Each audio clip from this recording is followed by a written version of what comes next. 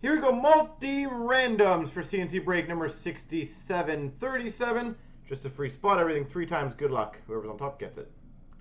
One, two, three. Hall and Oats. Congratulations.